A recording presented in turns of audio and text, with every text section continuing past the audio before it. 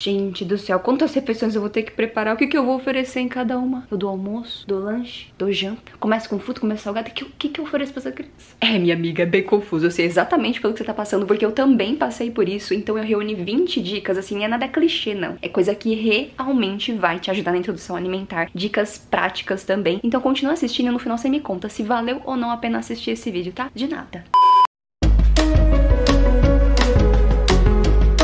Oi gente, tudo bem com vocês? Começando mais um vídeo no canal e hoje é um tema que vocês pediram bastante lá no meu Instagram, que são dicas para introdução alimentar. Eu me lembro como se fosse ontem, é que não faz tanto tempo assim, como foi difícil quando foi o início da introdução alimentar, porque é muita informação, a gente fica muito perdido. Então eu reuni 20 dicas, então tá bem completo, e tem muita coisa. Pra você, mãezinha, que vai começar a introdução alimentar ou já começou ainda tá perdida, que eu tenho certeza que vão te ajudar. Mas uma coisa muito importante aqui pra falar antes, nesse primeiro aninho de vida do bebê, o bebê ele está em introdução alimentar. Então a amamentação ela continua sendo a principal fonte de alimentação do bebê. E se você dá em livre demanda, vai continuar dessa forma. Nesse começo, a gente não substitui a amamentação nem uma mamada pela refeição, tá? E agora chega de lero lero e vamos começar. Somente inicie a introdução alimentar se o bebê apresentar todos os sinais de prontidão. Gente, é sério, isso é muito importante para a questão da segurança do bebê. Existem alguns sinais de prontidão e um deles é o bebê ter completado seis meses. Ah, Carla, mas meu bebê tem todos os outros sinais, só não tem seis meses. Então ele não tem todos os sinais de prontidão. Porque ter seis meses é um dos sinais de prontidão. Você não vai lembrar. Então tem um post lá no meu Instagram que você pode deixar salvo para você consultar na dúvida. Se você não me segue ainda, tem outras diquinhas lá de alimentação, tem receitinhas também que você pode fazer. E tem tantas coisinhas. A gente também conversa no Stories todo dia. Tem muitas dicas, dicas de economia para você comprar uma fraldinha. Hum, tem de tudo lá. Então vai, Carla Soares. Escolha o método que mais tem a ver com vocês. Existem três métodos. O método tradicional é onde você amassa a comidinha do bebê com um garfo, não se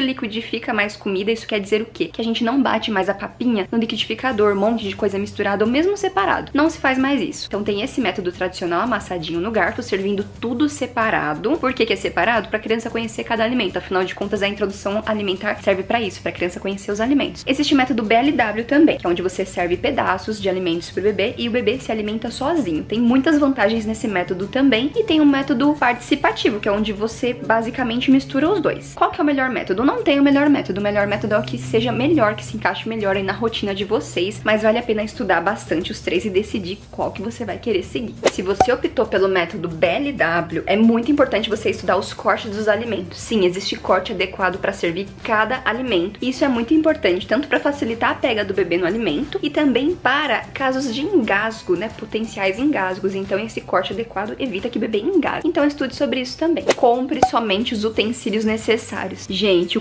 comércio sabe que mãe é boba e quer comprar tudo que vê pela frente. Porque é pro nosso filhinho, então a gente se deslumbra muito fácil. Mas sério, não precisa comprar um mundaréu de coisa. Existem algumas coisas básicas que você precisa investir, mas é super pouca coisa. Eu juro pra você que dá tudo certo. Você vai querer se desviar do seu caminho quando você for fazer compra, mas mantenha o foco se você quiser economizar. Se você não quiser, você compra de tudo. Então, enfim, existem algumas coisas básicas que vão te ajudar muito. Tem um vídeo aqui no canal que eu vou deixar linkado pra vocês, pra quem ainda não viu, que justamente eu falo dos itens que você vai precisar pra introdução alimentar sem exageros. E eu explico o motivo de cada um, é um vídeo ótimo, bem completinho, vou deixar linkado aqui. Entenda a diferença entre o reflexo de gag e o engasgo. O reflexo de gag é uma reação natural do corpo e ele aparece bastante durante a introdução alimentar, que assemelha a uma ânsia, que é uma reação natural do corpo para tentar espelhar alguma coisa que tá aqui. Talvez você vai se assustar quando isso acontecer pela primeira vez. Então esteja preparada, dê uma olhada em alguns vídeos, é uma coisa natural do corpo, mas você vai ter que saber diferenciar de um engasgo de verdade. E já pegando o gancho aí no engasgo,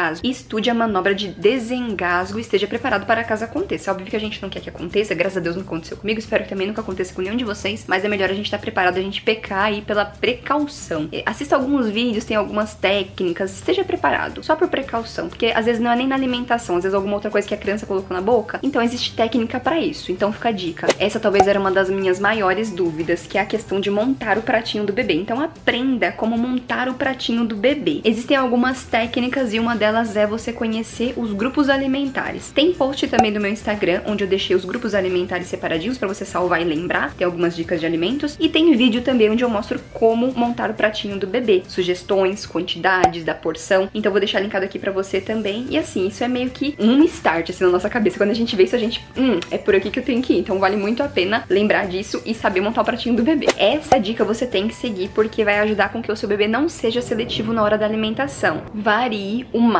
possível. Esse é um dos segredos para ter aquela criança que come de tudo, sabe? Come de tudo. Todos os legumes a criança come, come de um tudo. Então, um dos segredos para isso acontecer é a variedade. Sabe aquele adulto ou aquela criança mesmo que qualquer verdinho ali no meio da comida tira ou, ah, que é esse legume que é, que é muito seletivo. E se você não conhece alguém assim, talvez esse alguém seja você.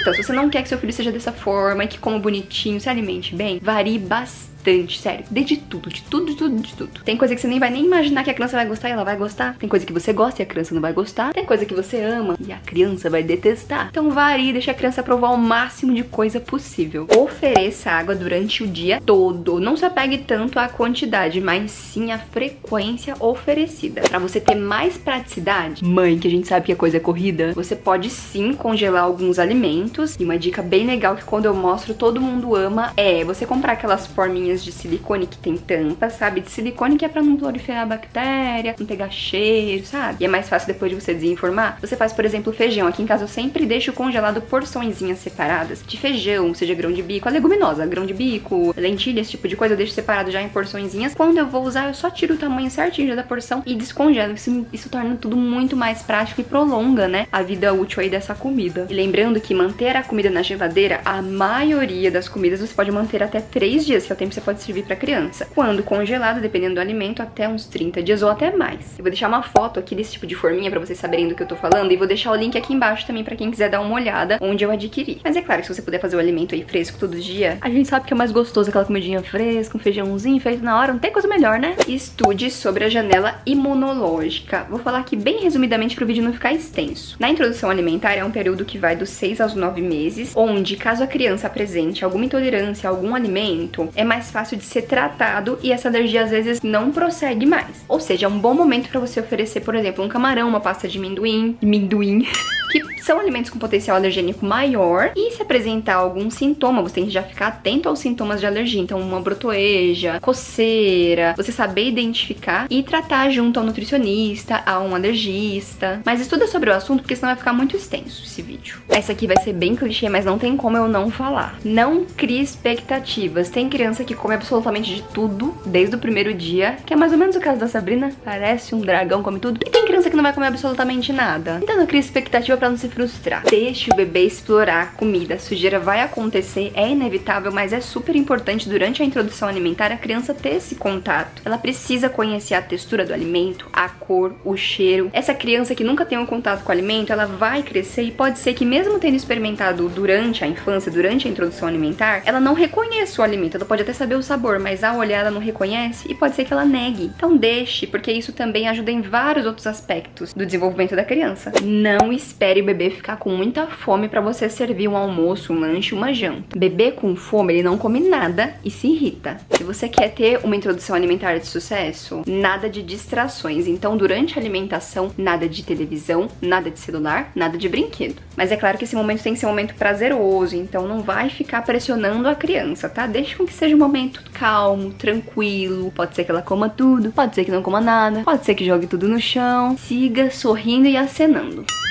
É muito importante. Nunca, nunca force a alimentação do bebê. Você é responsável pela qualidade do alimento que é servido e o bebê é responsável pela quantidade que ele vai comer. Sabe aquela história daquela mãe que diz: ai, mas ele sempre deixa comida no prato? Então põe menos comida no prato. E a introdução alimentar chega, a gente fica o quê? Doida querendo fazer aquelas receitinhas, aqueles bolinhos maravilhosos que a Bai Carla Soares posta lá no perfil dela do Instagram. Mas calma, deixa as receitinhas para depois dos nove meses, tá? Esse período dos seis aos nove meses, o ideal é que a criança conheça cada alimento individualmente para justamente saber, não ter seletividade. Depois você pode misturar. Tô falando aí, por exemplo, no caso de um ovo, própria aveia, dê tudo em natura, o máximo de alimento em natura possível. Estamos chegando nas últimas três diquinhas poderosíssimas e eu vou dizer que eu deixei as melhores pro final. Porém, se você assistiu até agora é porque você tá gostando do conteúdo. Então, por favor, deixa um, um likezinho, isso me ajuda muito. Se eu te ajudei com alguma coisa, alguma dica que falou, nossa, isso eu não sabia, deixa um like para me ajudar, que isso me incentiva também. Aproveita e se inscreve no canal também se você tá gostando daqui. Você gostou de mim? Saem dois vídeos por semana, de terça e sexta às 18 horas. Se inscreve rumo a 100 mil e me acompanha no Instagram também, porque lá a gente conversa muito todo dia. Eu prometo que eu vou bater papo com cada um de vocês lá pelo direct. Quase que a dica das dicas, hein? Ó, essa eu não sabia. Seja o exemplo. Gente, é muito clichê, mas é verdade. Seja o exemplo. Crie bons hábitos. A criança, ela vai fazer o que ela vê, não o que você fala. Então, se a sua alimentação é ruim, meu amigo, eu vou te dizer, tu vai ter que melhorar. Ou é isso, ou a criança vai seguir se alimentando mal também. Então, começa aí desde já a experimentar aqueles leguminhos, aquelas frutas que você não gosta muito e dê bons exemplos. Você pode tentar enxergar a criança como uma tela em branco. É você quem vai moldar os hábitos alimentares dela. Então, olha o tamanho dessa responsabilidade. Uma dica que não é uma dica, que é praticamente uma obrigação aí, viu? Não ofereça sal pro bebê antes do primeiro ano de idade. Não ofereça açúcar pro bebê antes dos dois primeiros anos de vida. Esses dois ingredientes são ingredientes totalmente desnecessários nesse início. Na verdade, na verdade, até depois talvez ele seja assim meio desnecessário, mas a gente gosta. São alimentos que não agregam nada nutricionalmente ao bebê bebê, então não tem necessidade de pressa. Tem aqui no meu canal também um vídeo com dois temperinhos que vai te ajudar, que você pode fazer e deixar prontinho já separado, que deixam uma comida muito gostosa e que obviamente não vão sal. Vou deixar o vídeo aqui linkado também e isso me ajudou muito no começo, porque eu não sabia o que colocar de tempero pra criança, eu ficava assim. E acho que eu não preciso nem dizer, né, gente? Nada de industrializados, pelo amor de Deus. Nossa, mas qual que é o problema de dar um danoninho, de dar uma bolachinha de maisena, um mingauzinho? Vou deixar essa lição de casa pra vocês fazerem, dá uma pesquisadinha do, do porquê não ofertar esses alimentos que são pra criança. A minha unha tá louca. E agora pra fechar nossas 20 dicas, anota aí no seu caderninho. Variedade, persistência e paciência são a chave para o sucesso de uma boa introdução alimentar. Se essas dicas valeram para você de alguma coisa, não esquece de deixar um like. Deixe aqui nos comentários uma palavra-chave para eu saber que você viu o vídeo até aqui, que vai ser introdução alimentar, que na verdade não é uma palavra só, mas pode ser também, né? Obrigada por assistir o vídeo, beijos e até a próxima.